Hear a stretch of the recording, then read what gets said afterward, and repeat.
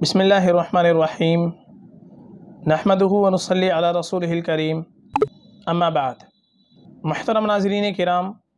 एक साहिबा हैं किन्ज़ा फ़ातिमा उनका सवाल है अस्सलाम मुफ्ती साहब एक मसला आपसे पूछना है कि अगर किसी औरत का हैज़ बंद ही ना हो तो वो नमाज़ किस तरह पढ़ेगी आप इस मसले की वजाहत फरमा दें आपकी बहुत मेहरबानी होगी वालेकुम अस्सलाम वरहमतुल्लाहि वबरकातुहू। इस मसले की वजाहत से पहले हम एक चीज़ ये समझ लें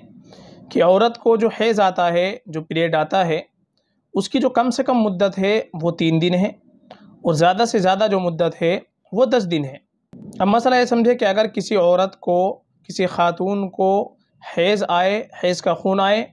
और आने के बाद खून ना रुके, बल्कि दस दिन के बाद भी खून आता रहे तो अब देखा जाएगा कि उस औरत की हैज़ की पहले कोई आदत है या आदत नहीं है। अगर उसकी सबका कोई आदत है, मसलन पहले महीने उसको जो खून आता था, वो मसलन सात दिन आता था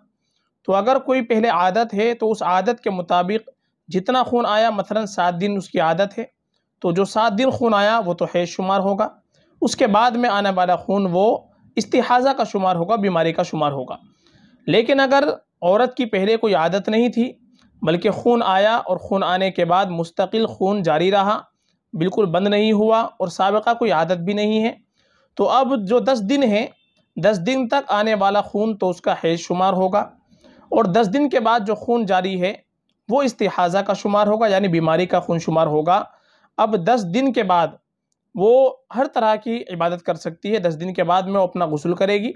गसल करने के बाद में हर नमाज़ के वक्त में वज़ू करें, वज़ू करने के बाद नमाज़ भी अदा करें और इसी तरीके से रोज़ा, कुरान वगैरह सब तिलावत कर सकती है। बाकी दस दिनों तक, दस दिनों तक वो कुछ नहीं कर सकती जो हैज़ के अहकाम उस पर जारी होंगे।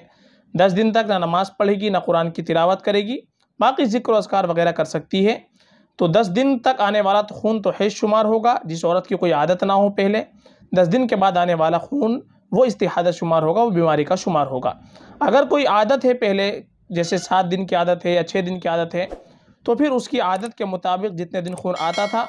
मसलन छः दिन या सात दिन तो ये तो हैज़ शुमार होगा और बाद में आने वाला खून, वो उसका इस्तिहाज़ा का शुमार होगा।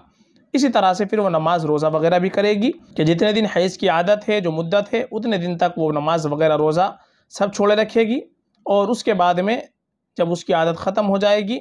उसके बाद में जो आने वाला खून होगा, वो हैज़ शुमार नहीं होगा, बल्कि इस्तिहाज़ा का शुमार होगा। बाद में वो नमाज़ रोज़ा सब कुछ रखेगी। फ़कत वल्लम